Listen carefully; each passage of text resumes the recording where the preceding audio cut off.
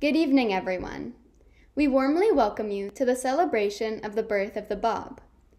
The Bab announced that humanity stood at the threshold of a new era. His mission was to last only six years, which was to prepare the way for the coming of a manifestation of God, who would usher in the age of peace and justice promised in all the world's religions. Baha'u'llah. On a spring evening in 1844, a conversation took place between two young men that heralded a new era for the human race.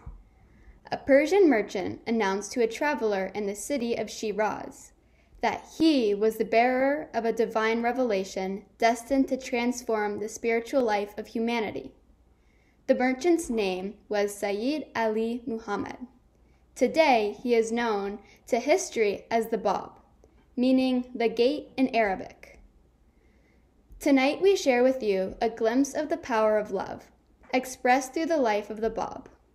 This thread of love will be woven throughout this program, as well as in, pro- in the program for the birth of Baha'u'llah, which will be celebrated in two days' time. Baha'is around the world celebrate joyously the twin births with their friends. We hope you enjoy tonight's program.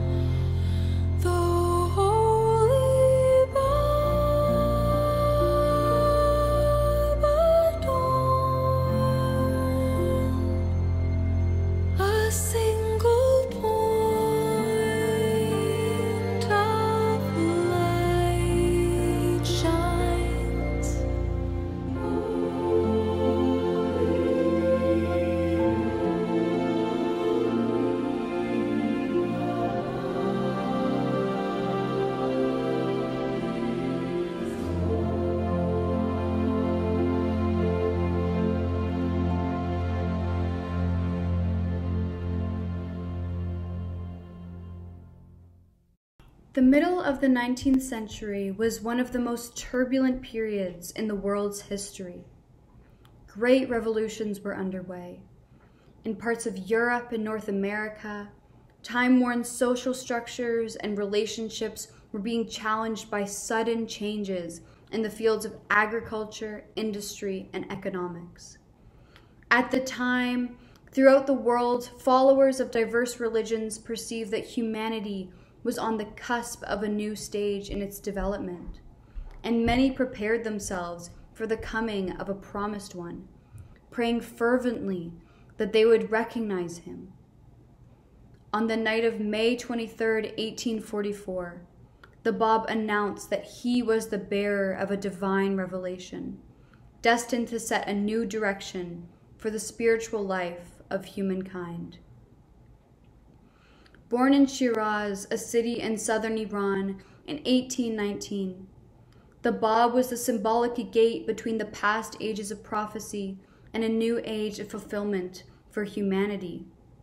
His primary purpose was to awaken the people to the fact that a new period in human history had begun, one which would witness the unification of the entire human race and the emergence of a world civilization of spiritual and material prosperity.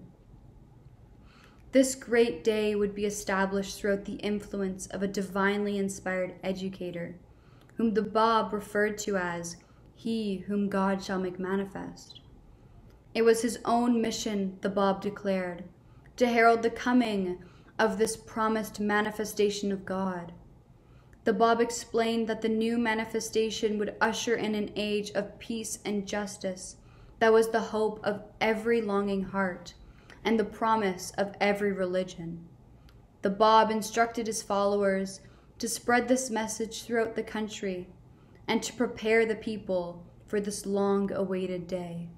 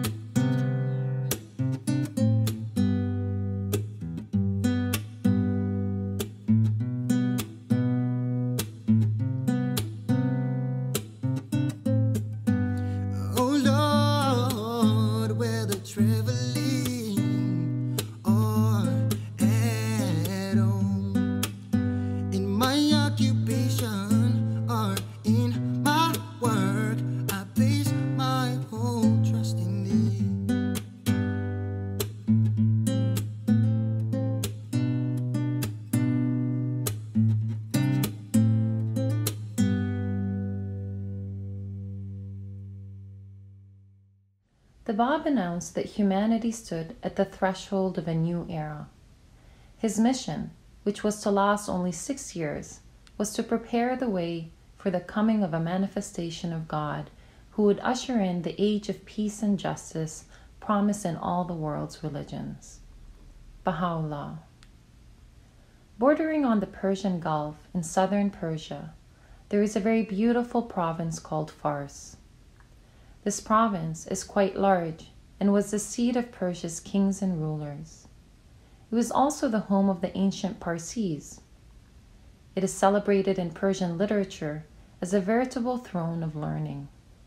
Here, nearly 700 years ago, the great poets Hafiz and Sadi lived and died.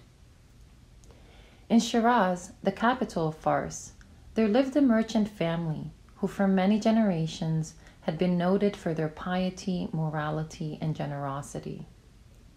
It was into this family that the Bab was born. The Bab's father died when the boy was quite young, and the eldest of his three uncles, who was also a merchant, took care of him and raised him. His uncle witnessed such remarkable things that years later when the Bab raised the new call of God, he pledged himself in the path of the cause and willingly sacrificed both possessions and life. As a child, the Bab gave signs of remarkable precocity, and while still very young, wrote beautiful essays in Persian and Arabic. Those who read them were astonished at his knowledge, for they were aware how meager had been his education. The Arabic scholars were especially interested in his writings in that language and thought it very extraordinary that one without learning could write such perfect Arabic. After he went into the business, his family noticed what seemed to them certain unusual traits in the young man. He would depart at midday, retire to a secluded spot, and meditate, chant, and read prayers, spending hours in deep spiritual communion. Observing this, the Bab's family endeavored to awaken in him a greater interest in acquiring wealth and fame, but they soon found that these things did not interest him. In the Bob, physical beauty was joined to that of the spirit. His hair was black and his dark brown eyes shone like stars. His features were symmetrical and his face was luminous. His carriage was majestic, yet simple and humble. The purity of his character was such that even his enemies could find no fault with him.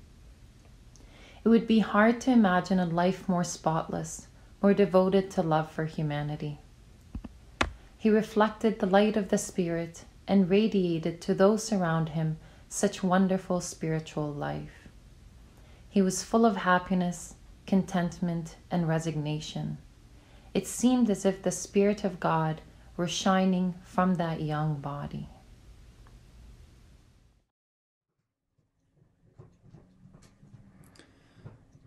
I am the mystic fane which the hand of omnipotence hath reared. I am the lamp which the finger of God hath lit within its niche and caused to shine with deathless splendor. I am the flame of that supernal light that glowed upon Sinai in the gladsome spot and lay concealed in the midst of the burning bush.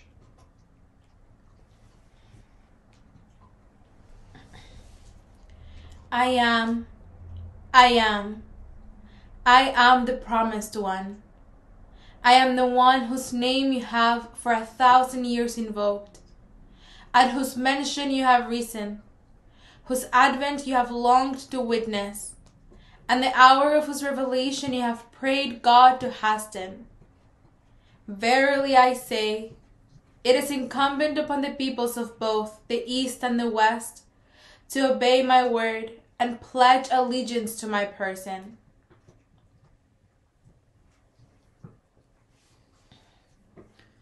I am the primal point from which hath been generated all created things. I am the countenance of God whose splendor can never be obscured, the light of God whose radiance can never fade.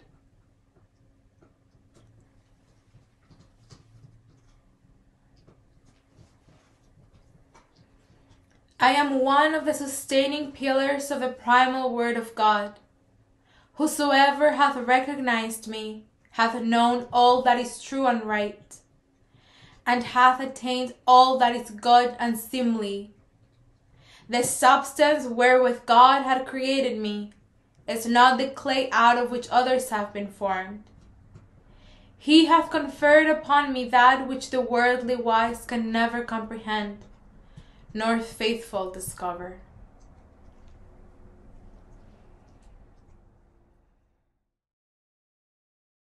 Tablet revealed by Baha'u'llah in the honor of the anniversary of the birth of the Bab.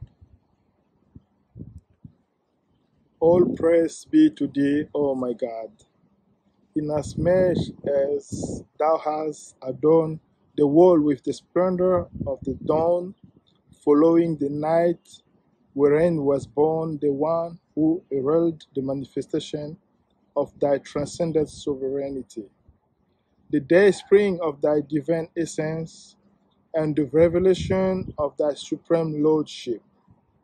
I beseech thee, O creator of the heavens and fashioner of names, to graciously aid those who have sheltered beneath the shadow of thine abounding mercy and have raised their voice amidst the people of the world for the glorification of thy name.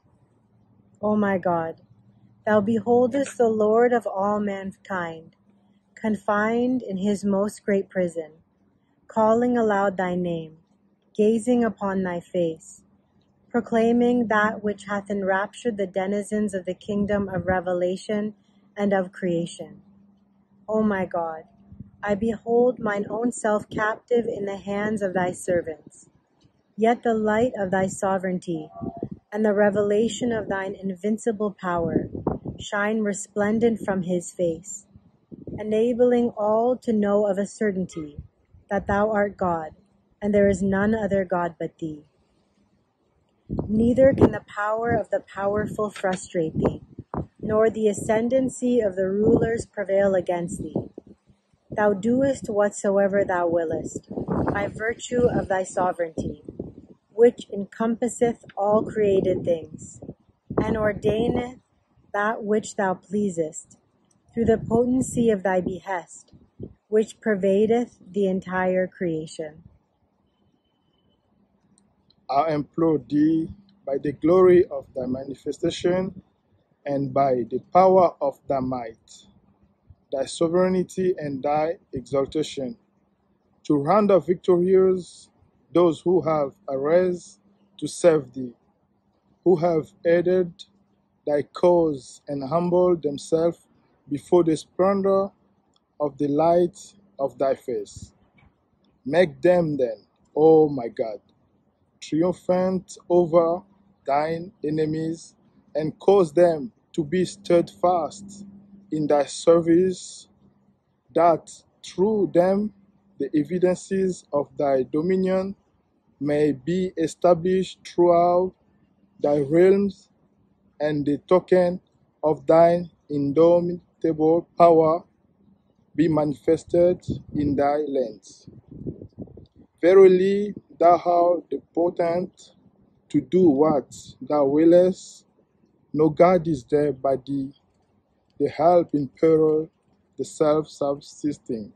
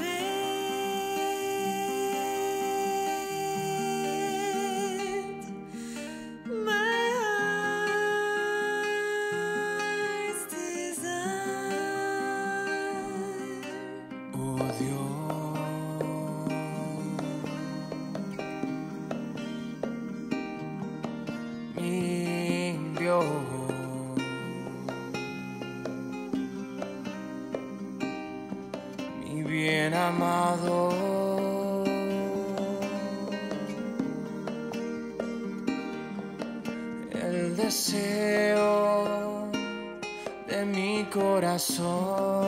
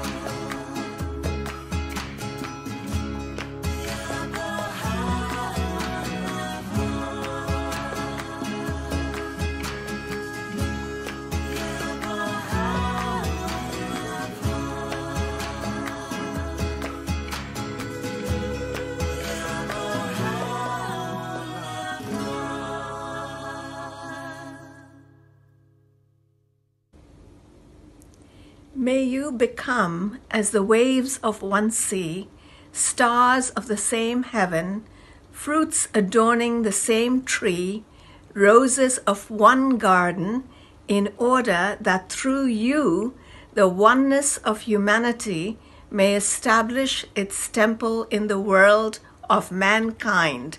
For you are the ones who are called to uplift the cause of unity among the nations of the earth.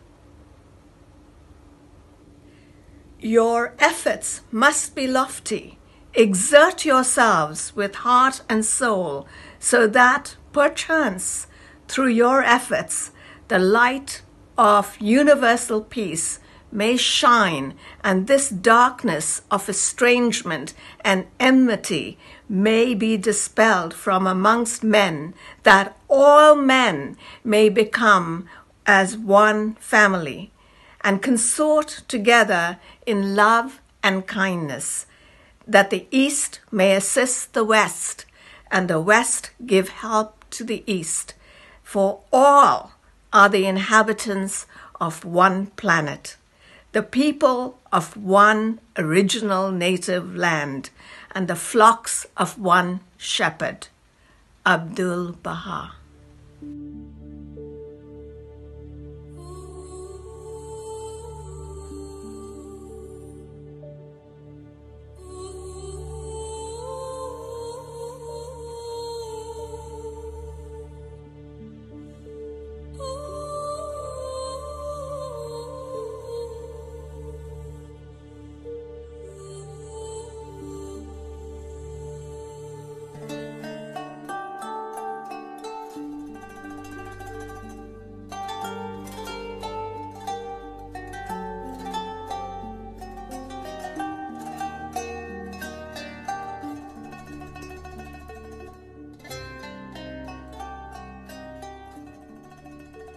I give you this one thought to keep.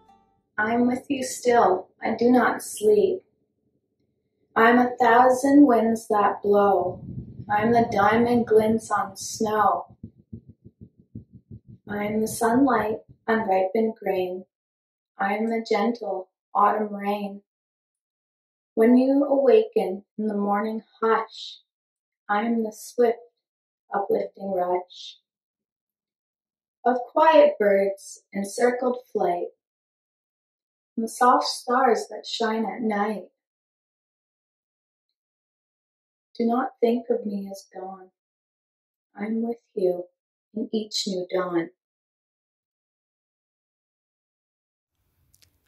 As I reflect on the birth of the Bab, I realize how humbled I am in his presence and in the presence of God. They make me feel small, but not in a bad way.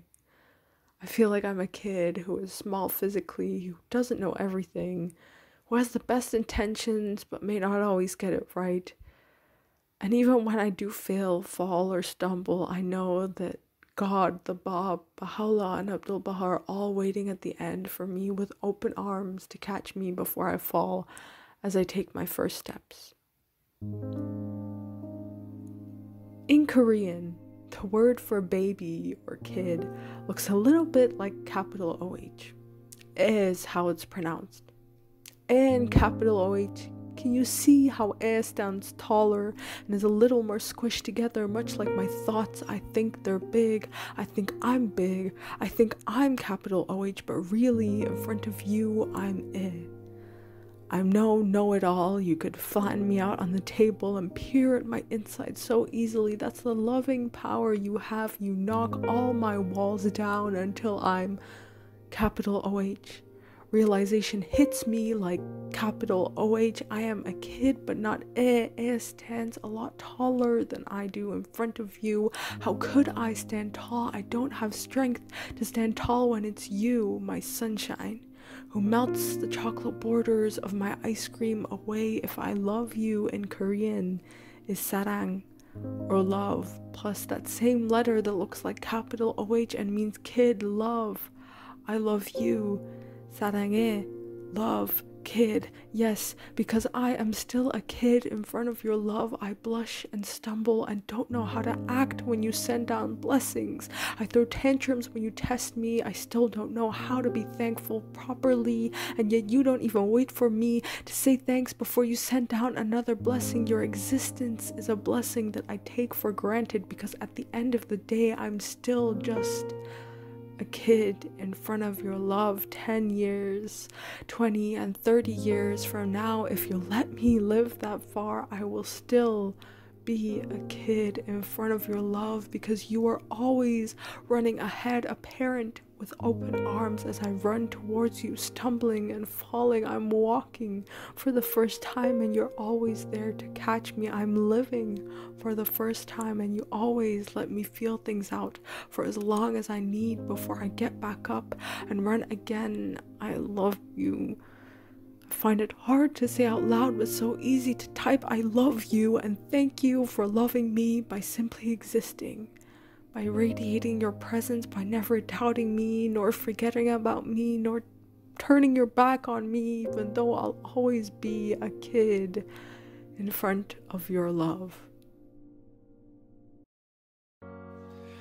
Oh my God, unite the hearts of thy servants. Oh my God, them thy great purpose. May they follow thy commandments and abide in thy law. Help them, O God, in their endeavor and grant them strength to serve thee. Oh God, what we need is strength. They say the grass is greener on the other side, across the fence, but we defeat the trends when we realize we need to send a message to where our souls used to dwell. Oh God, leave us not to ourselves, lost in these spells. We need your guidance from the well, spring of your laws. Let us sing for your cause. Uh.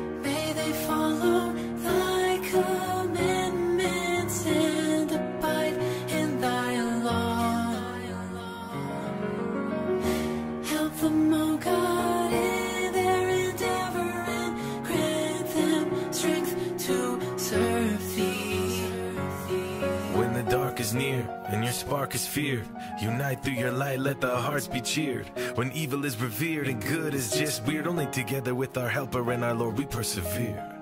Oh God, guide our steps through thy knowledge. We have no trouble here identifying problems. Since your commandments remain solid, then only through your love can we expect to find solace.